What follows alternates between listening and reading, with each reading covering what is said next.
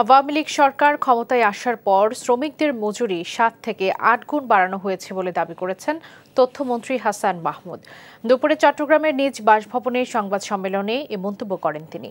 মন্ত্রী বলেন, আশির দশকের শেষের দিকে যখন শ্রমিকদের দাবি ছিল মজুরি সাড়ে তিন কেজি চালের সমান, সেখানে বর্তমান সরকার শ্রমিকদের মজুরি পনেরো কেজি চালের সমান করেছে।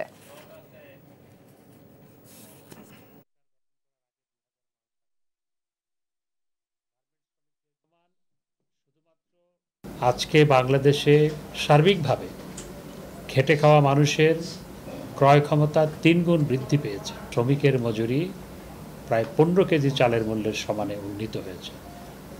আর বিএনপি যখন ক্ষমতায় ছিল, তখন শ্রমিকরা যখন তাদের অধিকারের দাবিতে আন্দোলন করেছে, তাদেরকে বিভিন্ন সময় গুলি করে হত্যা করা হয়েছে।